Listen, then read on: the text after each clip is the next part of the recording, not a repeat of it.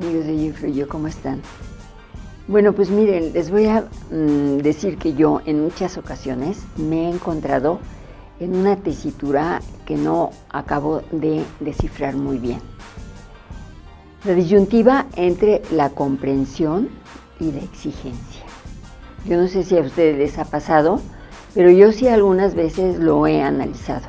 se le da a uno más fácil la comprensión, cuando pues las cosas van bien, no es que haya un problema demasiado grande, sí hay algo que no está saliendo muy bien, pero tampoco es grave.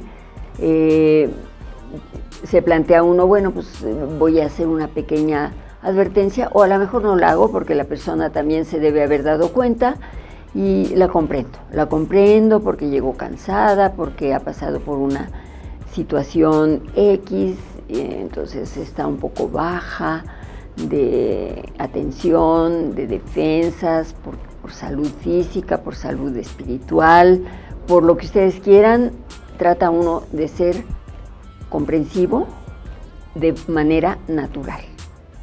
Pero otras veces a lo mejor se encuentra uno como con mucho más vigor y con mucho más eh, necesidad de que las cosas marchen mejor y rápido, y entonces se vuelve uno más exigente.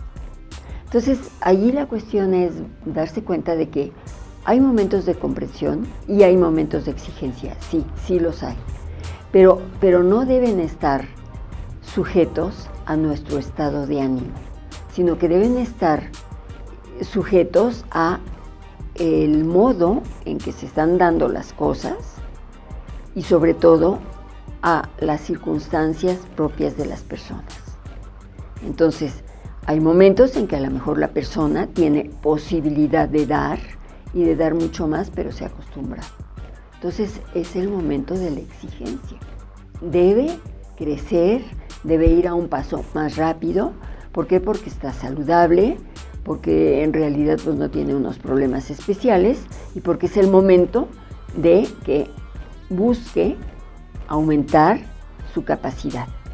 Habrá otros momentos en los que a lo mejor la persona tiene que estar un poquito más en equilibrio, un poco más de descanso, un poco más, podríamos decir, vivir de las rentas. ¿Por qué? Porque, porque no está en tan buenas condiciones como estuvo. Pero como en ese momento se creció, su nivel actual ahora, aunque sus circunstancias no sean las mejores, de todas maneras su desempeño es muy bueno. ¿Por qué? Porque lo supo hacer antes y porque trae todo el impulso del pasado. Pues entonces la compresión y la exigencia hay que pensarla bien en función de las circunstancias de las personas para que siempre sean adecuadas. Para ello influyo Ana Tere López de Hierro.